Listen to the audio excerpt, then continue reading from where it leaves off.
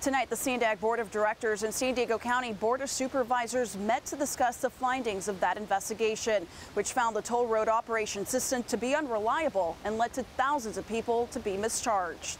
So give us just one moment. The San Diego County Board of Supervisors is calling for more transparency and accountability at Sandag. The calls come after a new investigation determined that the agency lacks the internal controls needed to make sure that the State Route 125 toll roads financial records are accurately recorded and reported.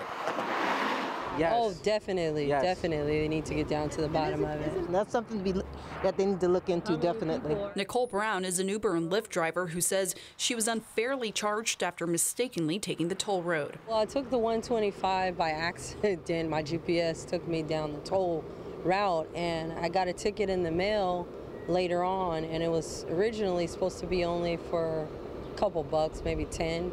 And then the ticket after the date went up to 100 and something dollars. Last fall, former Sandag executive Lauren Warren sued the agency, claiming she had been fired as retaliation for raising concerns about toll system errors.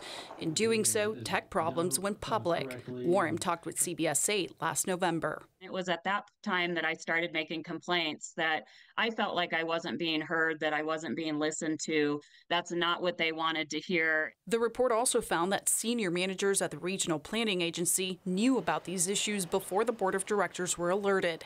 Warren believes there may be errors in up to 45,000 customer accounts. I felt I was wrongly terminated.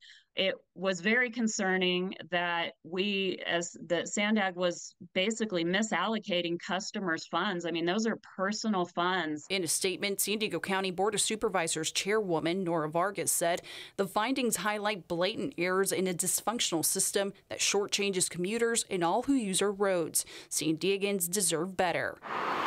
Today, the board unanimously approved accepting the audit committee's recommendations to restructure the system.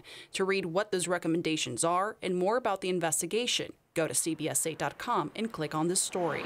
Lucia de la Fe, CBS 8.